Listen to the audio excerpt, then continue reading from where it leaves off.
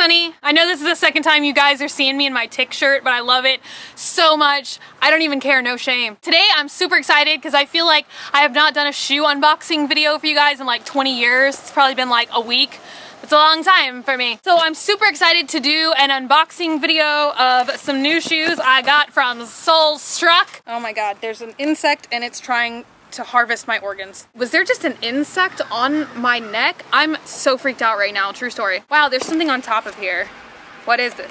Oh, I know what this is. I started like collecting all my antique photographs and like taking them out to get to get framed. I can show you. Ah, this is so great. I'm glad I have this sitting here. Random interlude. I just bought this new antique photograph when I was in Austin last week. Isn't this cool? Isn't it? I'm about to take it to have it to have it framed. I guess that's why it's in my shoebox, but thought I'd take the opportunity to show you guys that because it's not every day that you find a cluster of dead men inside of your shoebox. As usual, I love saying this. I'm super excited about these shoes because we all know I'm just so excited about everything. And they are a pair of Jeffrey Campbell's because really Jeffrey Campbell is pretty much the brand of shoe that I wear. Pretty much the only brand of shoe that I wear, right? But it's okay, because, you know, it's okay to splurge on shoes when you pay 60 cents for your, for your shirts, right? Right? I justify it. These are brand new spiked Litas, and this is the shoebox. Does anyone care about the shoebox? I kind of think it's spiffy. I've wanted a pair of shoes like this literally for all of time and I just ordered the all over spike Litas about what two weeks ago I guess now? But I've always wanted this pair and it's kind of like the original Lita spikes. If y'all have seen a lot of people have done unboxings probably for them by this time on YouTube. But they are the spiked Litas the original spiked Litas. However are you ready for this? Are you ready are you ready for this? Right. These are the new CMYK spiked Litas, and I honestly like these a lot better than the original spiked Litas, so I'm glad I never bought the ones that are like silver and black. I mean, they still look really badass, don't get me wrong. These, in my opinion, are better than the original spiked Litas because you guys can probably see, right? These are a black on black spike, and we all know how much I love wearing black clothing, right? They're kind of more, how do I, how do I say it? I like them better.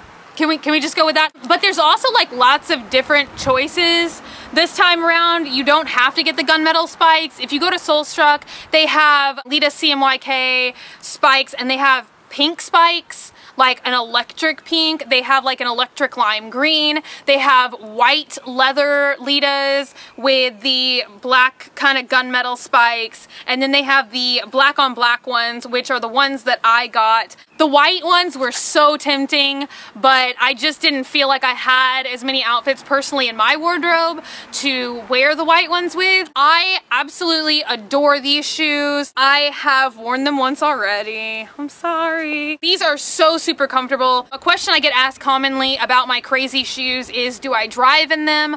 I find that Litas are super easy to drive in. I cannot drive in my damsels, however. I wouldn't even recommend that. Litas, however, no problem to drive in. Super easy to drive in, so you can just put these on and not even worry about it. They're very, very comfortable. I say that about every pair of Litas that I have. Literally, these are super comfortable. Like you don't even really realize you're wearing heels. I wear these out to a lot of concerts, to shows, hanging out with friends, walking up and down the streets of Austin, which if you live anywhere in Texas, you know that's like hill country. So you're like walking up and walking down things. And I've never tripped or fallen or had any problem wearing Litas. And then the other question that I get a lot is kind of about age appropriateness. And I get a lot of questions from you guys that are a little bit younger and you're asking like, hey, do you think Litas are appropriate? You know, I'm 13 or I'm 16 and I really do feel like Litas are an appropriate shoe for both younger and older girls and guys. By the way, guys, if you don't know, Solestruck offers a brand or a section of Jeffrey Campbell shoes called First by Jeffrey Campbell, and they're actually men's shoes by Jeffrey Campbell. So they're Litas, damsels, whatever you guys want who would want to wear these shoes. They do make them for men.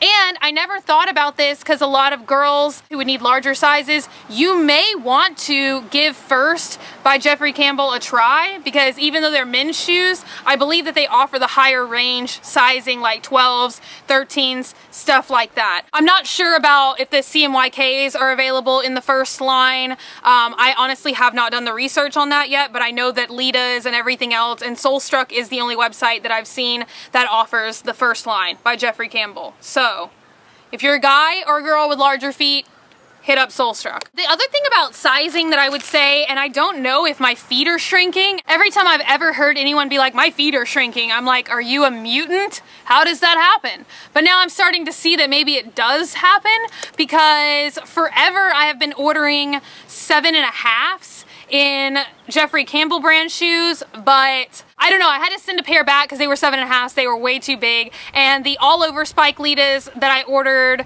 are seven and a half. I have to wear socks with them. I can't just go barefoot. I'm kind of one of those like, I guess, hickified swamp people. Sometimes I don't like to wear socks in my shoes, okay? Sometimes I like to just slap these puppies on, walk around for a little bit. So I don't really like to be required to wear socks. So I went ahead and I just ordered these in a size 7 and I'm glad I did because a 7 fits perfectly. I still have enough room to wear socks if I want to, but I'm not required to. So that's good. And I honestly would maybe recommend sizing half of a size down on shoes like this that are the spikes. So either the CMYKs here or the Lita spikes, which I did the last review on. I would recommend almost sizing half a size down because they are just a little bit heavier with all the embellishments. They're not uncomfortable at all to walk in, but they do add a little bit of weight, so it kind of makes your foot shift a little bit. These are gonna give a little bit, so I would I would recommend sizing down a half size. So like I said, normally I'm a standard size seven and a half, so I size down half a size down for the sevens and I'm really happier that I did. I feel like that the Litas are going to be a staple shoe for quite some time so they're a good investment I feel if you're really looking to spice up your wardrobe, have something that's a little bit different. Definitely don't be afraid of the investment because I really don't see Litas disappearing from being a style staple for quite some time. Everybody is just crazy about them still. I'm still crazy about them. Honestly, I'd probably buy another 20 pairs of Litas. They're that awesome. I don't really have that much else to say about them except for they're very comfortable. I love the black or gunmetal spikes. Personally, a lot better than the silver spikes. So I'm kind of glad I waited for that. I'm to try them on for you guys and I'm to walk around in them for a little bit. I will be linking where you can get these down below. I'm to link you to this exact pair, but if you click on the other colors or whatever, you'll be able to see like the white ones that I mentioned or the ones with pink spikes or green spikes. Right now, I do believe they still have all of the sizes in every single color. I know they start at size 5 and I believe the largest size may be a 10 or 11 for the women's, but like I said, go check out First by Jeffrey Campbell if you need larger sizes.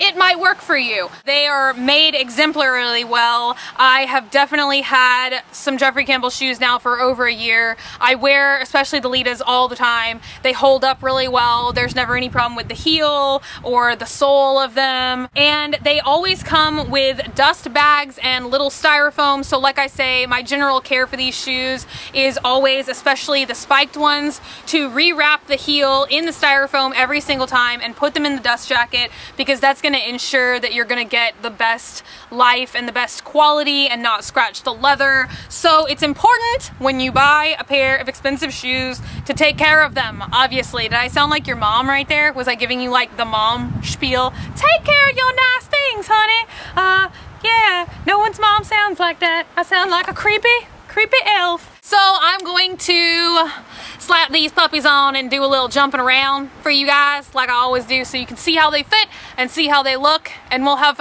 we'll have a good old time.